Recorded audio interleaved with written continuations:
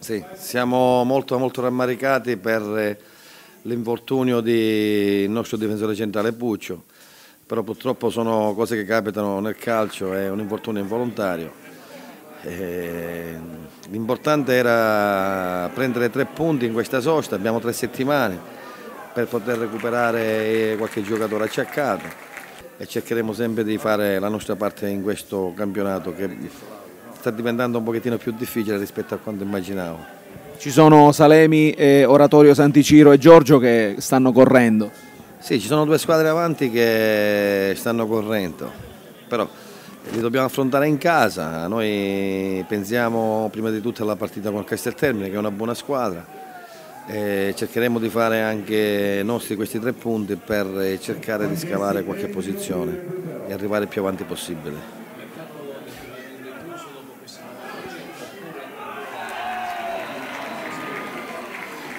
Niente, noi con la società abbiamo ragionato anche col Presidente, se c'è la possibilità di prendere qualcuno che fa il caso nostro va bene, ma senza doppione senza, e senza perdere il nostro obiettivo che è quello di fare un campionato di vertice sì, però dobbiamo guardare anche l'aspetto economico. Il, tre, tre, tre settimane non di vacanza ma di duro lavoro vi aspettano? Sì, per noi ci voleva questa vetrina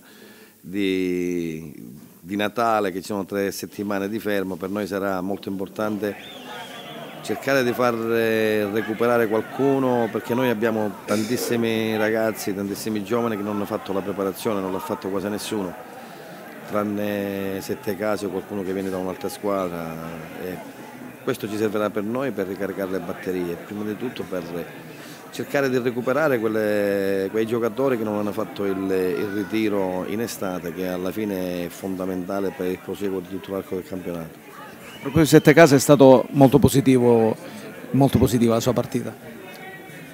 Vedi, io Sette Case ormai da un paio d'anni che, che con me conosco il valore e poi lui in queste piazze si esalta di più, ma vi posso garantire, conoscendo il ragazzo, è ancora al 50%. Speriamo di recuperarlo anche lui al 100% perché è un valore aggiunto, ma non solo lui, perché lui senza